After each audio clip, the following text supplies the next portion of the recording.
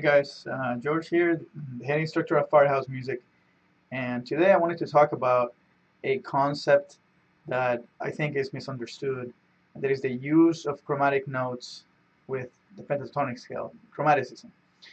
Um, I think it's misunderstood because people think that you need to have a lot of uh, uh, music theory knowledge or knowledge of chord construction, and while there's some truth to that, um, you don't have to wait until you have all that information before you start uh, utilizing chromatic uh, notes effectively. And today I'm going to show you a concept that hopefully will make that easier for you.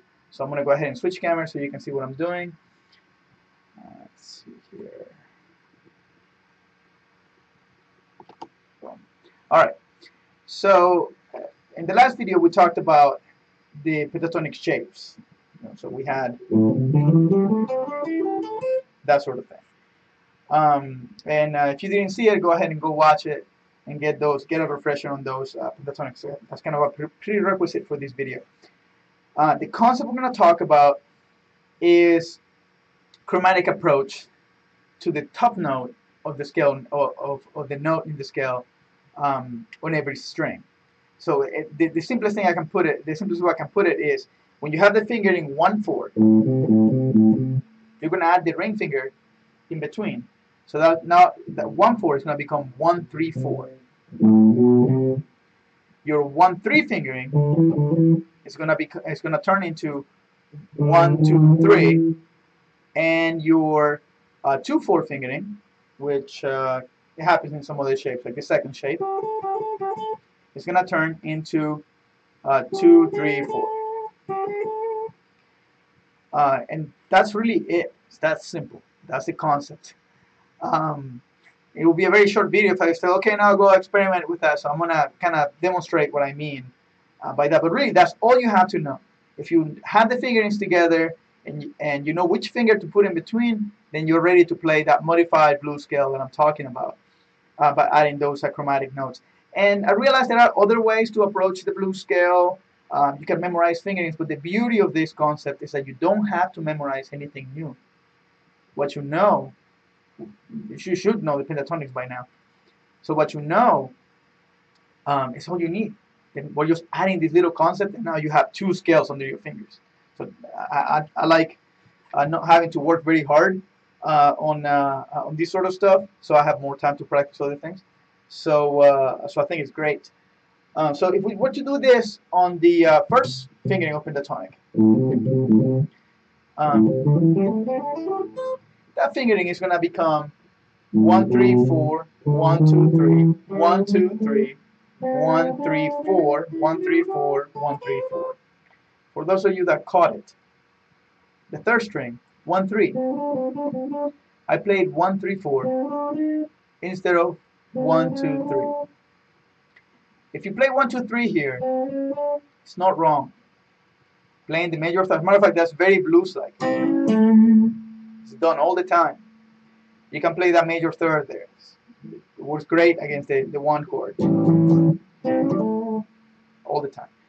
But uh, there's also a pretty cool uh, symmetrical, symmetrical possibility here when you have that when you have that flat five there because then you can mess with that.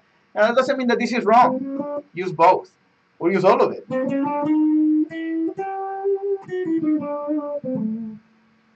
Uh, you can mess with that all, all day. You can make, you know, create licks that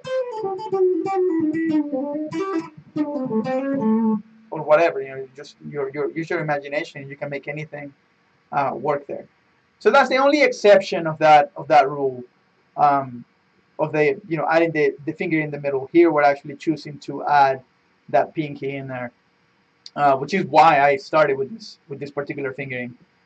Um, but then the rule will apply uniformly uh, through the rest of the pattern. So if we go to the second fingering, and so now that one is going to become uh, 2, 3, 4, 1, 3, 4, 1, 3, 4, 1, 2, 3, 2, 3, 4, 2, 3, 4.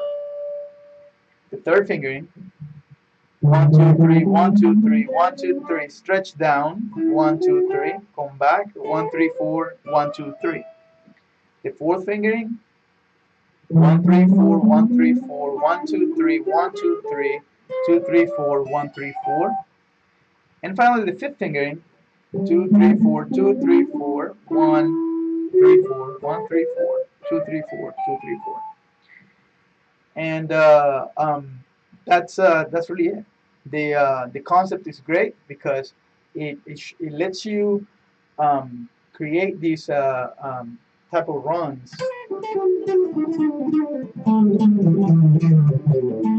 That don't quite fit into uh, any particular key and, uh, and they have a neat sound to them. So uh, apply that to your playing. Of course there are other applications. There are things that do involve some of that music theory as to like okay well what note do I stop on if I'm playing um, um, over a particular chord progression and uh, that has a little bit more to do with the note choice and, and things like that. And that, that falls outside of the scope of this specific video.